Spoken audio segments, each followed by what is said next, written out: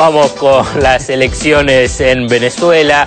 Ayer se realizaron elecciones legislativas en Venezuela y la verdad que primero vamos a contextualizarlo porque debido a esta campaña, la verdad, de desinformación sobre lo que pasa en Venezuela merece ser contextualizado. Punto uno, hace cinco años la oposición no participó de las elecciones legislativas. O sea, eh, ahora sí aceptaron el juego democrático de la oposición que en realidad eh, es un conglomerado de partidos de la oposición, más de 30 partidos se reunieron en lo que denominan Mesa de Unidad Democrática. Me suena esto de la Unidad Democrática, pero bueno, esto es de la década del 50 en Argentina, cuando se juntan todos para enfrentar a, eh, en este caso, a un líder popular como Chávez. Chávez ganó hasta esta última elección ganó 14 de las 15 elecciones que de diferente motivo, tanto presidenciales o por referéndum o por legislativas, eh, se realizaron. Solamente perdió una, que es de la reforma de la Constitución,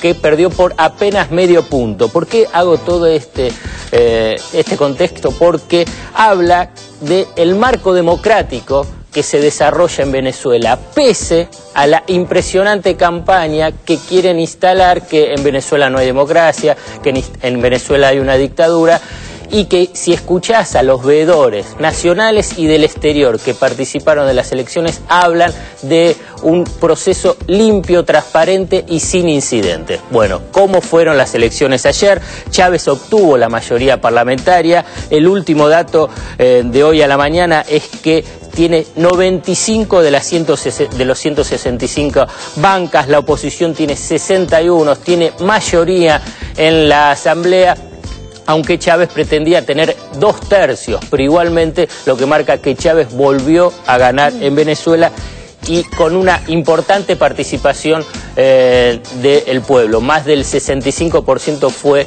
a votar. En última instancia, para que te quede claro, en Venezuela hay democracia, en Venezuela se vota y en Venezuela gana Chávez.